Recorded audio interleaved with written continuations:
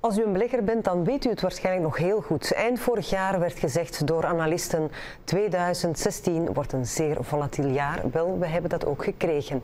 We gaan erop terugblikken met Stefan Genoux van ehm, de Groof Peterkam. Uh, we kijken eerst naar de Bel 20 en wat valt op? Toch wel een kleine verrassing. Er is een negatieve vooruitgang dit jaar. Ja, tot nu toe zien we op de BER 20 duidelijk dat dit jaar eh, nog geen excellent beursjaar geweest is. We zitten met een daling van 4% sinds begin van het jaar.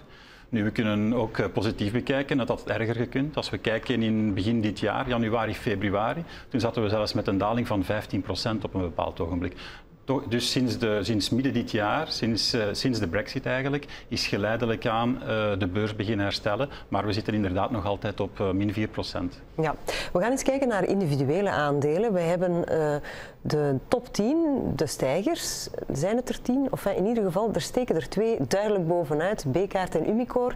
Weet u hoe dat komt? Ja, en ook de derde Solvay is daaraan gelinkt. Eh, de drie bedrijven zijn eigenlijk eh, rechtstreeks of in, onrechtstreeks uh, blootgesteld aan de grondstoffensector. En begin dit jaar hadden we nog een sterke daling van de olieprijs. Daarom ook dat de beurzen begin van het jaar sterk, zwak gestart zijn. Ja. En, maar sinds februari hebben we een gevoelig herstel van de grondstoffen. En zowel Bekaert, Umicore als ook Solvay in mindere mate profiteren van die sterke stijging van de grondstoffen. Oké, dan gaan we naar ja, de dalers kijken. Hè. Degenen die dit jaar geen winst hebben kunnen opbouwen.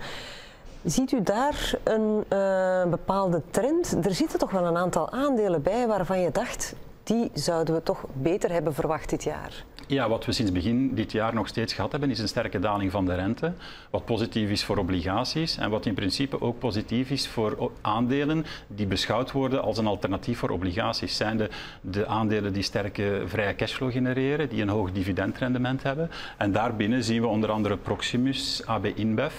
Uh, die als alternatief voor obligaties beschouwd worden, maar die ondanks die dalende rente toch een negatief uh, jaar achter de rug hebben tot nu toe. Ja, hoe zou dat komen? Wel, ik denk in het algemeen is het zo dat de beurs een beetje reserve achter de hand houdt en dat de rentedaling die we gezien hebben niet volledig is doorgerekend in de koersen van de bedrijven. We zien dat ook in de hoge risicopremie, de risicopremie voor de aandelen, die vandaag rond de 6 tot 7 procent eh, bedraagt, wat historisch hoog is.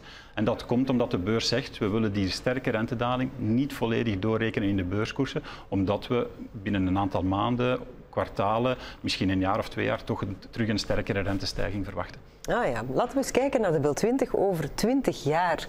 Ja, we zitten belangen nog niet op het uh, hoogtepunt dat we ooit gehaald hebben.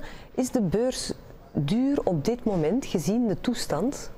Wel, als je kijkt naar de grafiek op langere termijn, dan lijkt het dat de beurs niet, niet duur is. We hebben nauwelijks een, een, een, stijging gehad, een horizontale evolutie.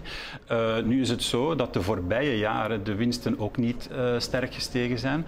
Uh, als we kijken tussen 2010 en 2015 zijn de winsten van de Benelux bedrijven vrij stabiel gebleven.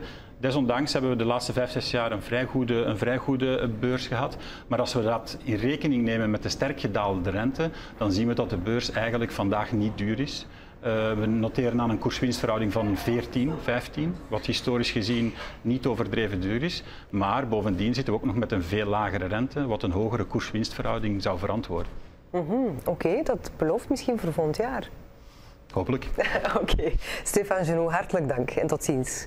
Dames en heren, tot uh, volgende week.